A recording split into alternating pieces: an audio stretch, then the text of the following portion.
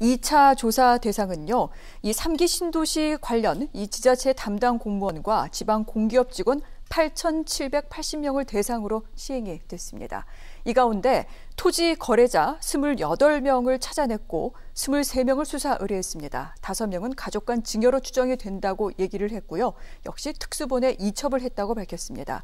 토지는 이렇고요. 뭐 아파트 등 주택과 관련해서는 개발지구와 인접해 있는 기존 시가지 등에서 237명이 거래한 것으로 어, 그렇게 나왔다라고 얘기를 하기도 했습니다. 이 부분도 역시 함께 넘겼다 이렇게 발표를 했는데 아시겠지만 지난 1차 조사 때는요. 국토부와 LH 직원 전원에 대해서 조사를 했었습니다. 20명을 밝혀낸 바 있죠.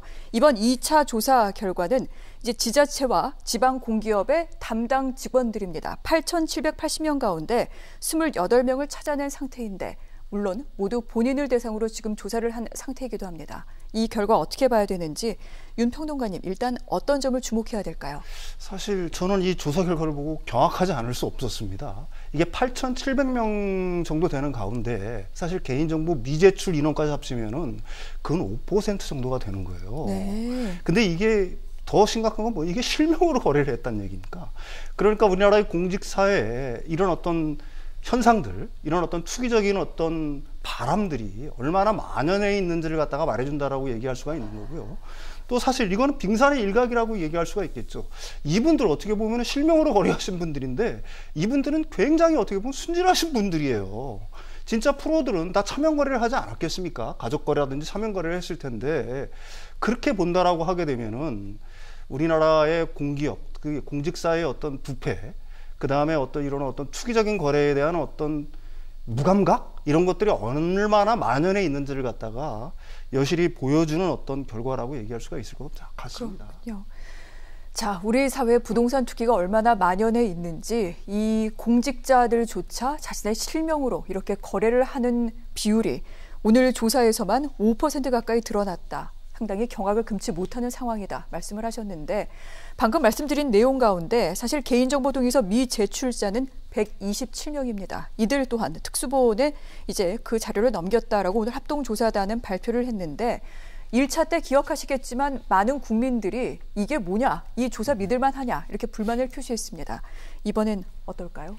뭐 지금 윤평론가가 지적해 주셨듯이 진짜 토지 개발 업무를 하는 사람이 담당하는 직원이 자기 이름으로 어, 이런 어, 뭐 본인 이름으로 투기를 했을까요? 어, 거기서부터 요번에 나온 거는 사실 단순한 토지 거래 여부만 확인한 거라고 이제 저는 보여지거든요. 네. 왜냐하면 직원 명단에다가 어, 해당 지역의 토지 거래 내역, 등기부등본 이렇게 맞춰본 거거든요. 그렇다면 지금 가장 중요한 거는 투기 의심자가 업무자, 업무 과정상에서 얻은 정보로 그 부당이익을 취했는지이기 때문에 이거 하려면 왜 했는지 모르겠습니다. 그렇다면 이거는 분명히 이제 특수본이나 어떤 어, 검찰까지도 지금 뭐 동원이 된다는 얘기까지가 있습니다만은 어, 이런 부분들로 가야지 뭐 진짜로 어, 기본적인 사실관계만 어, 내놓고 네. 또뭐 어, 말씀하신 대로 어, 미제 주자는 또저뭐 다른 데로 가 있고 이렇게 해서는 지금 뭐 우리 국민들이 이 부분에 대해서 어, 뭐 안심을 하고서 이제 앞으로 진행상을 지켜볼 않을까? 이 부분에 대한 굉장히 의심의 눈초리가 있고요. 제가 뭐, 어, 우연히 그 2차 신도시 할 때, 에, 참여했던 어, 수사관하고 뭐 얘기를 하는 기회가 있었는데요. 이렇게 하면 안 된답니다. 네. 최초의 정보를 누출한 사람을 먼저 어, 수색을 해놓고 그 다음에 그 사람이 어떻게 정보를 퍼뜨렸나 이렇게 해야지 되지 전수조사를 해서는 절대로 안 나오고요. 자기 같으면 이렇게 수사를 했다는 거죠.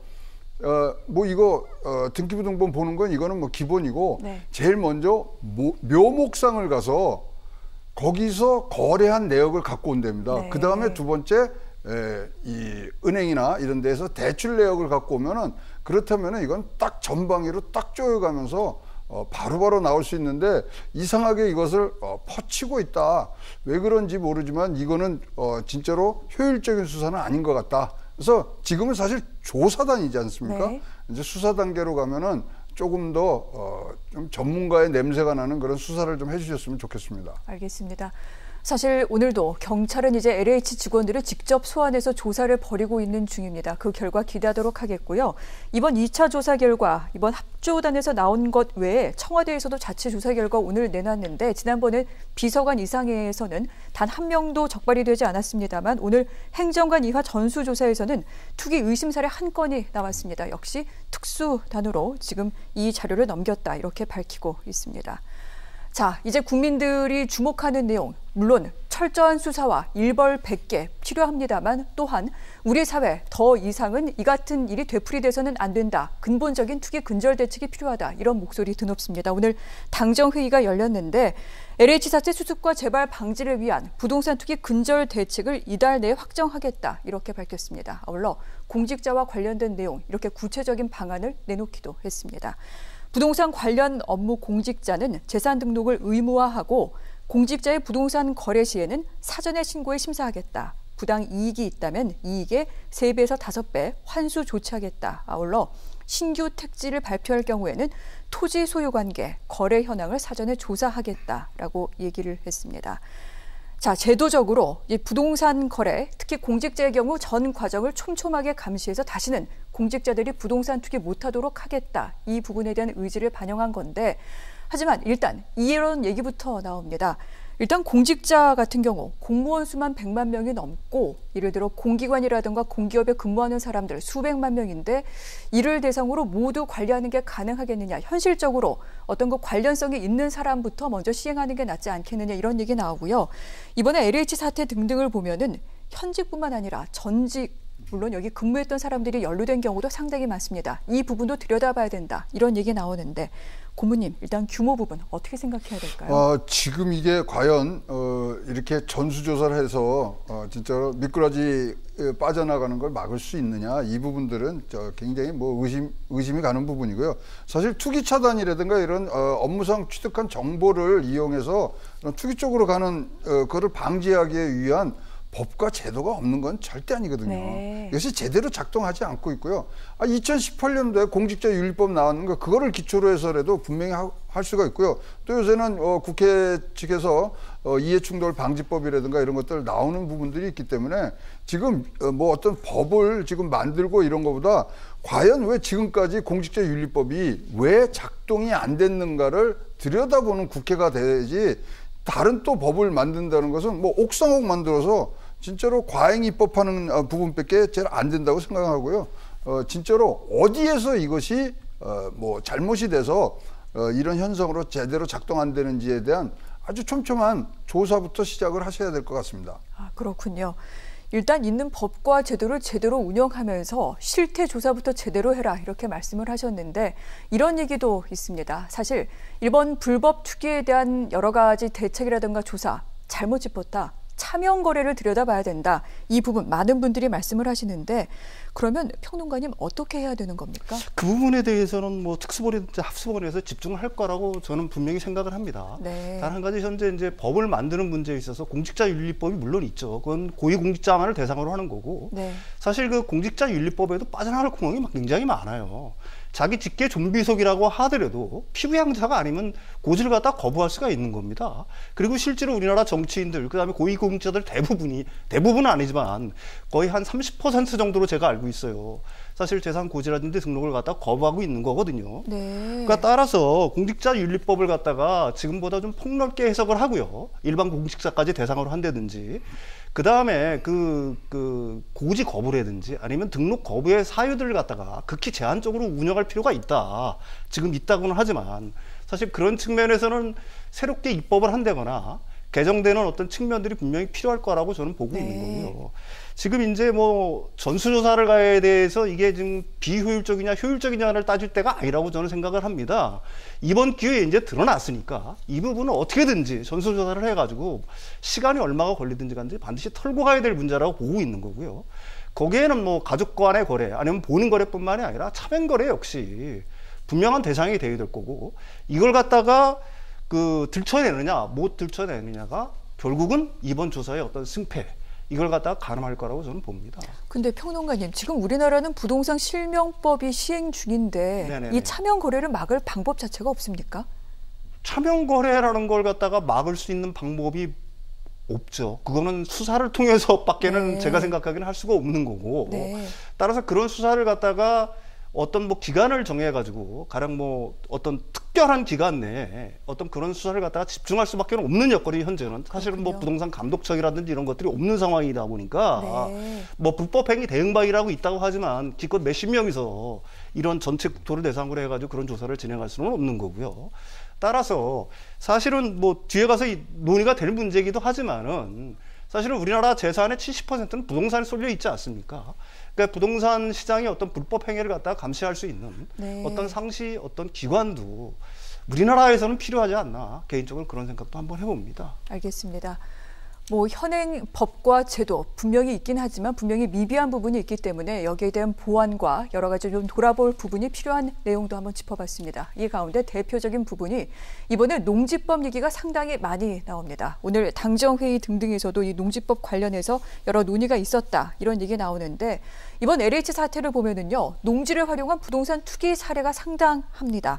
그렇기 때문에 농지법을 개정해서 농지 취득 심사를 강화하고 농지 불법 투기 확인이 될 때에는 즉각 처분 명령을 내리는 등 처벌을 강화하겠다. 이런 안이 지금 논의가 됐습니다. 그런데 농지법 사실 투기로 볼 수 있는 취득 목적 위반되는 그런 어떤 그 판결은 상당히 미미한 상태입니다. 그렇다면 농지법 개정 무엇을 어떻게 만져야만 될지 먼저 평론가님 의견을 좀 주시죠.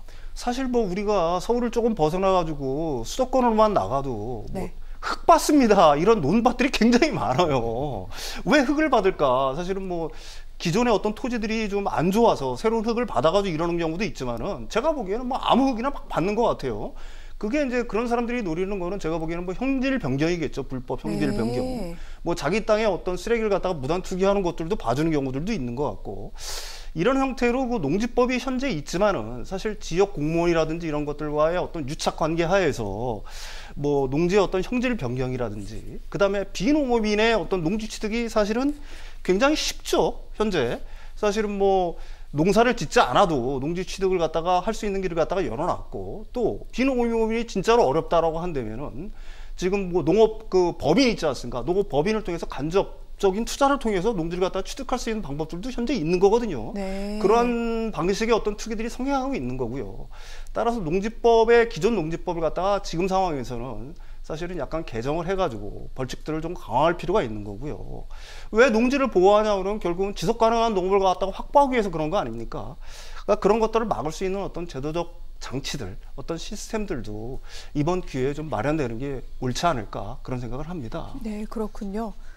흙 받습니다라는 그 광고가 결국은 어떤 그 농지의 형질 변경을 노리는 경우가 많다라는 것 이번에 지금 저는 처음 알았습니다. 이런 부분 우리가 좀 확실하게 다잡아야 될 것 같은데 오늘 모신 우리 최양호 고모님 농지법 전문가십니다. 아, 그렇다면 네. 이 농지법을 통해서 사실 소유권 박탈 등등이 가능하다 이런 얘기도 많이 나와요. 그 역사를 좀 아셔야 되는데 1949년도에 비농민의 농지 취득을 할 수 없는 농지 개혁법이 나오고요. 네. 그다음에 1987년도에 우리 헌법 제정할 때 그때 경자 유전이 빡 바뀝니다. 그래서 사실은 농민 이외에는 농지를 소유할 수가 없어야 되거든요.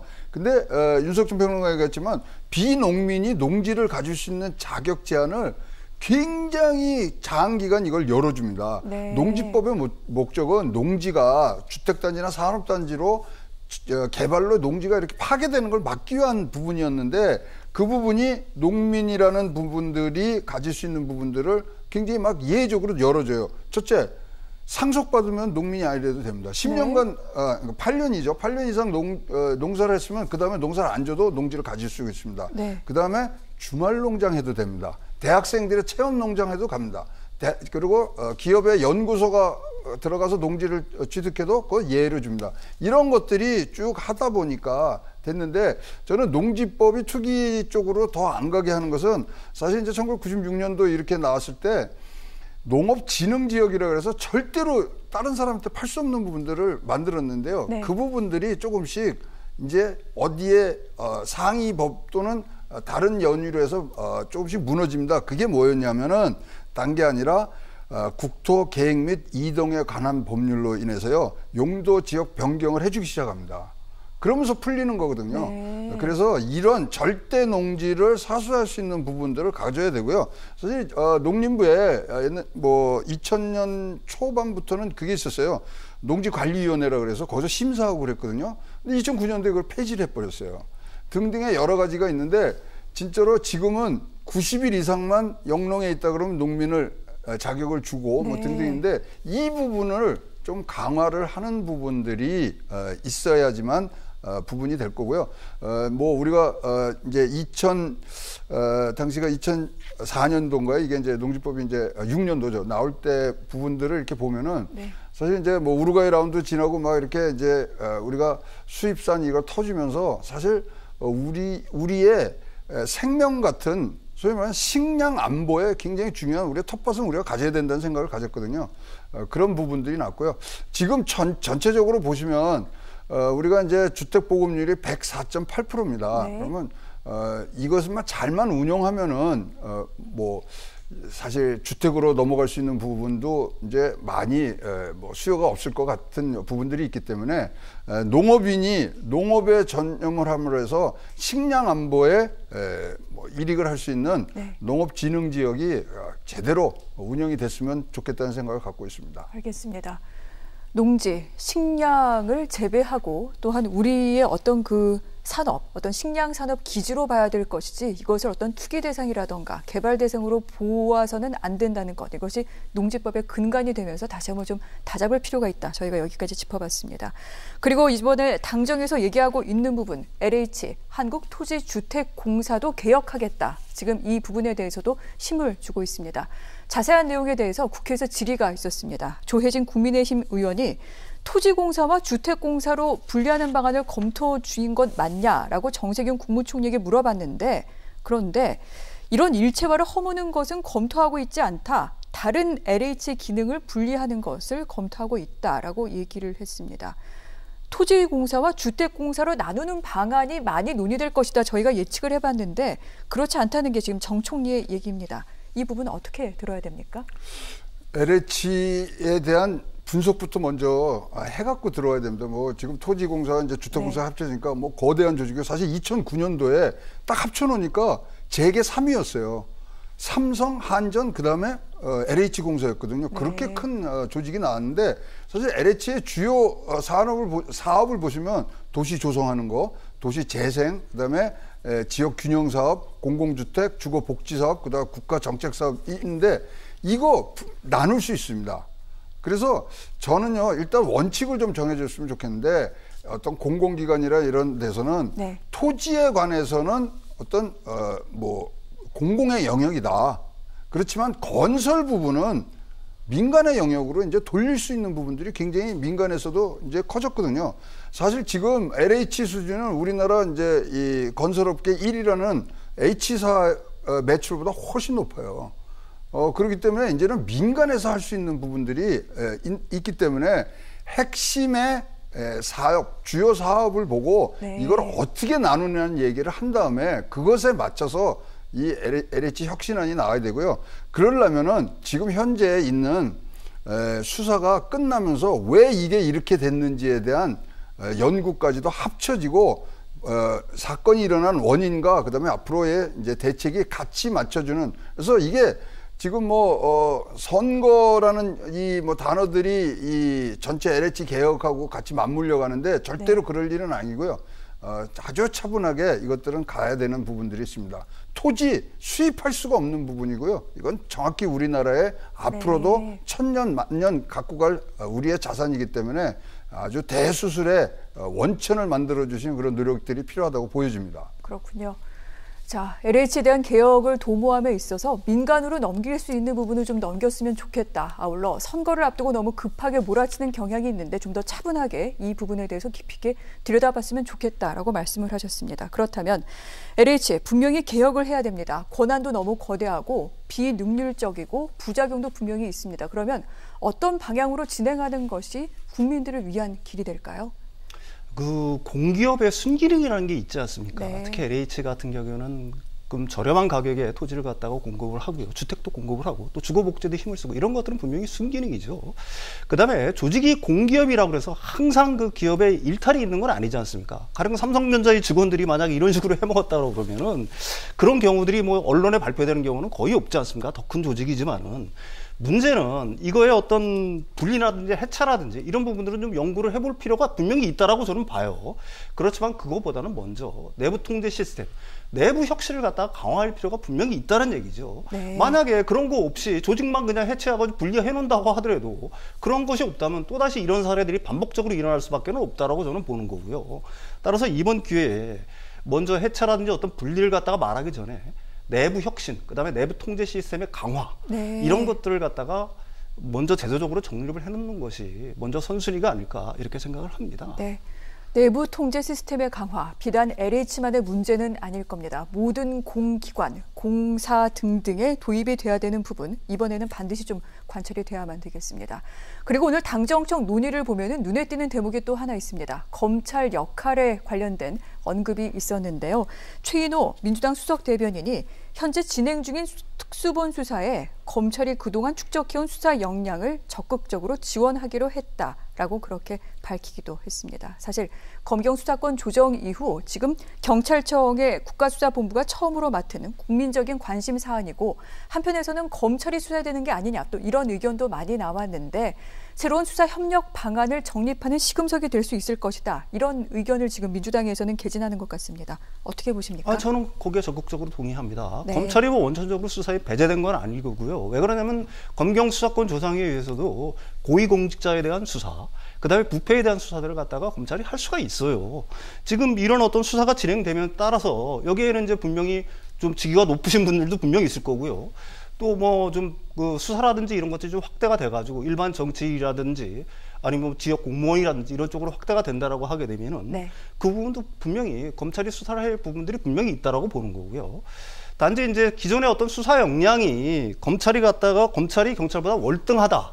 뭐 이렇게 반드시 단정할 수는 없다. 따라서 이번 기회에 사실은 검경이 좀 어떻게 좀 협조하는 모습을 국민들한테 보여주면서 검경 어떤 수사권 조정이 어떤 갈등이 아니라 네. 협력의 어떤 하나의 모델도 충분히 될 수가 있다, 있겠다라는 그런 것들을 갖다가 검경이 공이 좀 국민들한테 보여줬으면 하는 바람입니다. 알겠습니다. 네. 아마 모든 분들이 그렇게 바라고 계실 것 같은데 그렇다면 어, 수사도 그렇고요, 조사도 그렇고요, 뭐 LH 혁신 방안, 투기 대책도 그렇고요. 근본적으로 민심을 돌릴 수 있는 방안 무엇인지 직효책이 좀 없을까요?